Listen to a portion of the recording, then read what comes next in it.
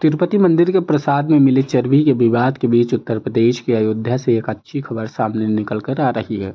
दरअसल राम भक्त के मन में यह सवाल था कि जैसे तिरुपति बालाजी के प्रसाद में चर्बी का मामला सामने आया है, वैसे अन्य मंदिरों में भी मामला सामने आ सकता है। तो इसी में से एक अयोध्या का राम मंदिर भी है।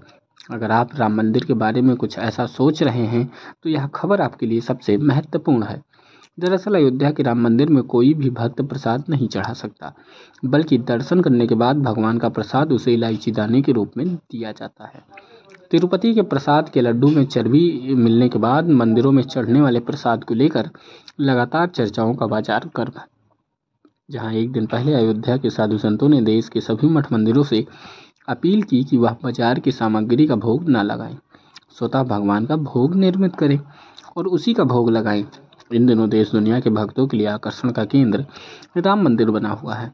राम मंदिर की अगर बात की जाए तो यहाँ के प्रसाद में मिलावट की कोई भी संभावना नहीं है, क्योंकि यहाँ भक्त प्रसाद नहीं चढ़ाते, बल्कि भगवान को पेड़ा का भोग लगाया जाता है। साथ ही भक्त को इलायची दाना प्रसाद के रूप में दिया जाता है।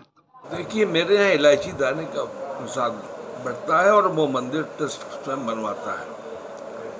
और वो हंड्रेड शत प्रतिशत शुद्ध, सही है। क्योंकि उसमें कोई मिलावट हो ही नहीं सकती। उसकी कोई अपना दिक्कत है नहीं क्योंकि हमारे यहाँ जो भी यात्री है जो भी दर्शनार्थी है उनको प्रसाद चढ़ाने की फूल माला चढ़ाने की अनुमति ही नहीं है।